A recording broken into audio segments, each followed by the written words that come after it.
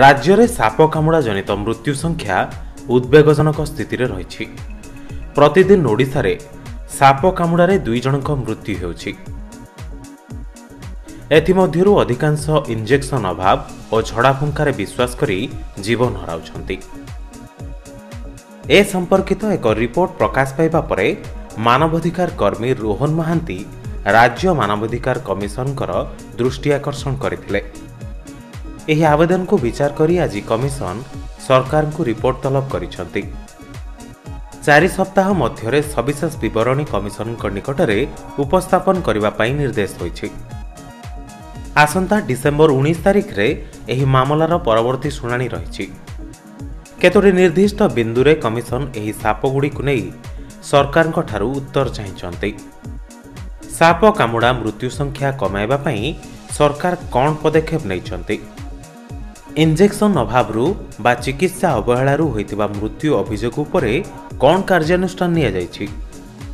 ସାପ କାମୁଡ଼ାରେ ଝଡ଼ାଫୁଙ୍କାରେ ଲୋକ ବିଶ୍ୱାସ କରୁଥିବାରୁ ଅଧିକାଂଶ ଜୀବନ ଯାଉଥିବା ଅଭିଯୋଗ ଉପରେ ସରକାରଙ୍କ ପାଖରେ କ'ଣ ରହିଛି ଉତ୍ତର?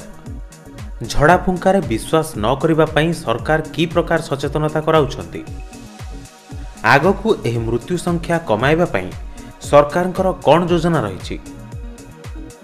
ଏସବୁ ଉତ୍ତର ସହ ଏକ ବିଶେଷ ବିବରଣୀ ଉପସ୍ଥାପନ କରିବା ପାଇଁ ସରକାରଙ୍କ ସ୍ୱାସ୍ଥ୍ୟ ସଚିବଙ୍କ ସମେତ ମୁଖ୍ୟ ଶାସନ ସଚିବଙ୍କୁ କମିଶନ ନିର୍ଦ୍ଦେଶ ଦେଇଛନ୍ତି।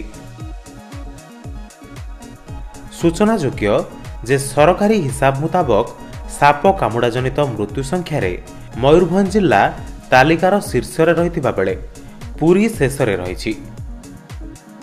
ସର୍ବେକ୍ଷଣ ମୁତାବକ ଷାଠିଏ ପ୍ରତିଶତ ଘଟଣାରେ ଇଞ୍ଜେକ୍ସନ ଉପଲବ୍ଧ ନଥିବା କାରଣରୁ ଲୋକଙ୍କ ମୃତ୍ୟୁ ହେଉଥିବା ବେଳେ ପଞ୍ଚସ୍ତରୀ ପ୍ରତିଶତ ମୃତ୍ୟୁ ଝଡ଼ାଫୁଙ୍କାରୁ ଭରସା କରି ହେଉଛି।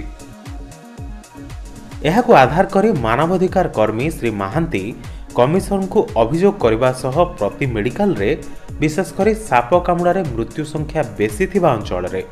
ସରକାର ମାଗଣାରେ ଯଥେଷ୍ଟ ପରିମାଣର ଔଷଧ ଉପଲବ୍ଧ କରାଇବା ସହ ପ୍ରଶିକ୍ଷଣ ପ୍ରାପ୍ତ ଡାକ୍ତର ନିଯୁକ୍ତି ଓ ସ୍ୱତନ୍ତ୍ର ଆମ୍ବୁଲାନ୍ସର ବ୍ୟବସ୍ଥା କରିବାକୁ ପ୍ରାର୍ଥନା କରିଥିଲେ। ଏହାସହ ଏହାକୁ ଏକ ବିଷୟ ଭାବେ ସ୍କୁଲ ପାଠ୍ୟକ୍ରମରେ ମଧ୍ୟ ରଖିବା ପାଇଁ କମିଶନ ଦୃଷ୍ଟି ଆକର୍ଷଣ କରିଥିଲେ।